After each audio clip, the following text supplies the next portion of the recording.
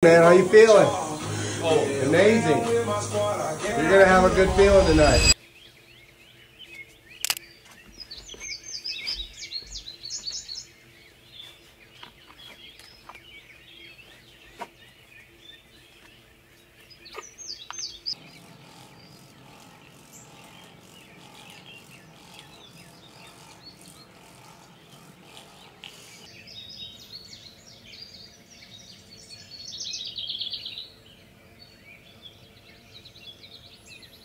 Sometimes I forget how peaceful it is outside of the city.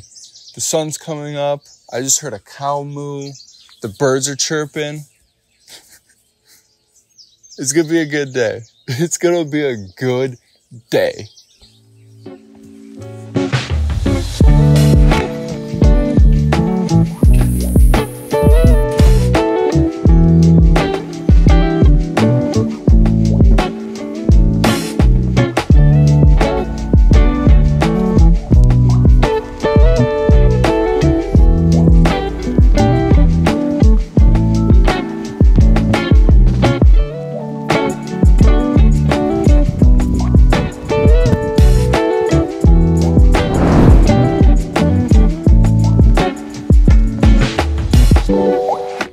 What is going on everybody? Welcome back to a brand new video. If you guys are new here, my name's Chris and I am currently 10 weeks out from a marathon that I'm running in October. Long story short, I failed a marathon last year and now I'm running it back. And today is a long run workout and I'm deciding to run it out on a track. Normally, I have these videos a little bit more thought out, but I'm completely thrown off. My life has been absolutely crazy, and I'm pretty much just sending this video with no plan whatsoever. I just know that I've been doing really well lately on YouTube, so I don't want to let this fire die. But my workout today is technically 9.5 miles, but I think I'm gonna go 15. I think, eh, I'm gonna go 15.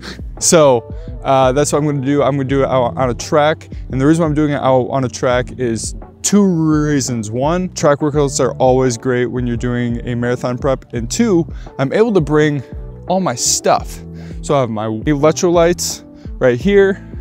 I have my camera stuff. That is what we have going down today. And I need to get into this run because it's currently 6.30 and I'm normally on my runs at uh, 6. So I'm 30 minutes behind. So let's get this going.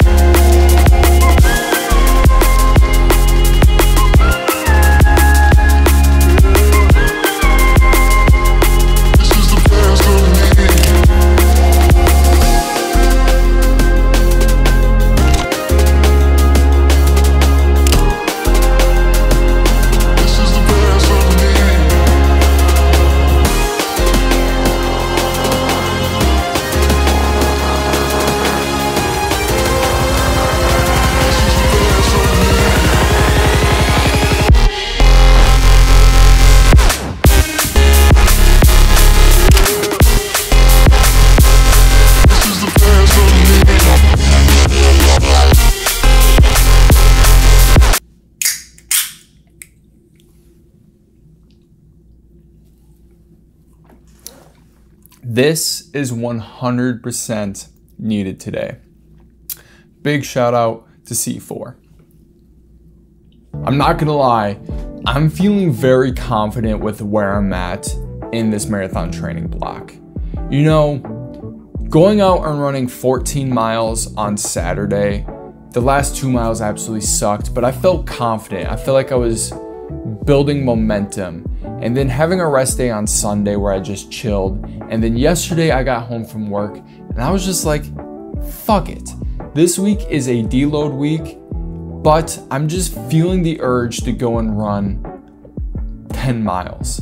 And that's just what I did. I went and ran 10 miles, and those 10 miles were absolutely fantastic. They weren't easy, but they weren't hard. I just felt confident throughout that whole entire run and I just pushed myself and going and having pretty much back to back days of long runs just makes me feel very confident with where I'm at in this marathon training block. I remember last year when I ran 10 miles for the first time and I was just dead.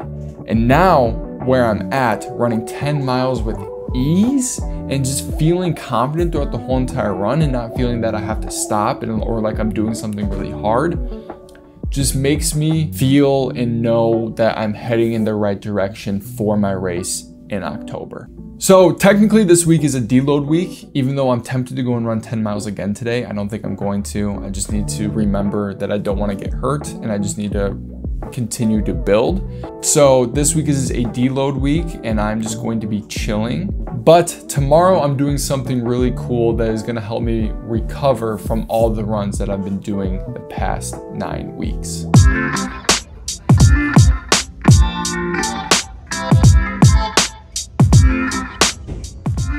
good, man. How you feeling?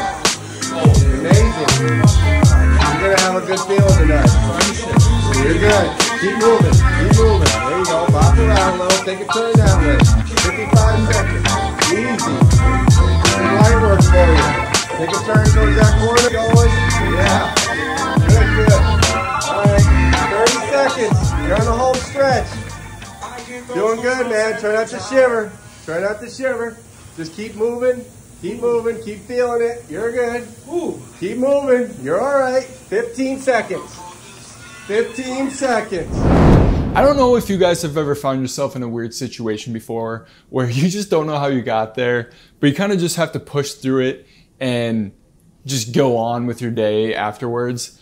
That was me yesterday. So as you guys saw, I did some recovery. I did the compression boots and I did a cryo freeze. I've never done compression boots before and it was absolutely fantastic. Like if you're a runner or athlete or anything, I highly recommend that. I felt so good. I wanted to fall asleep and I was really upset when it was done. However, after that, I did cryo freeze. If you have never tried that before, it's fantastic. This was technically my third time doing it, but I haven't done it in about like a year.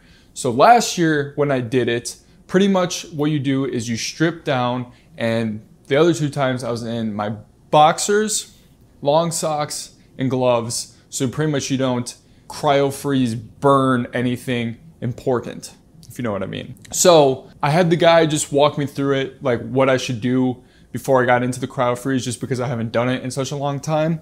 And he pulls out of a drawer three socks. He says, okay, so these two socks are for your feet, and the other sock, well, you know where that one goes. And I knew what he was talking about. And I was like, well, what do you mean? And he looks at me straight face and he goes, it's for your boys. and I had a game time decision to make. Am I going to strip down and put a sock over it? Or am I going to go in my boxers? And I was like, well, can I just go in my boxers? And he said, do you want the maximum effects? And I was like, well, yeah. And he was like, put it over your boys. So I put it over my boys. And it just made the whole thing awkward. And I was just holding it. And yeah, I find myself in these weird situations a couple times throughout my life. And that was, that was one of them. I'm the Wolverine.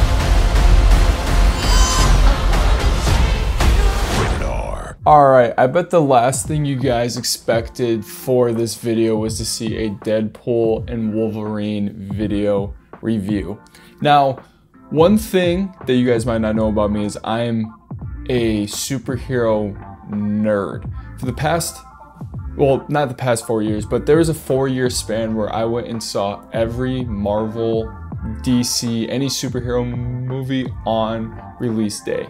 Yes, I even saw Morbius, and The Flash. I think I broke that streak on Captain Marvel 2. Anyways, that's neither here nor there.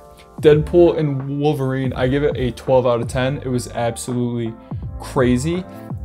I will say, I feel like the older I get and just the amount of superhero films that I've seen, I feel like they're all the same.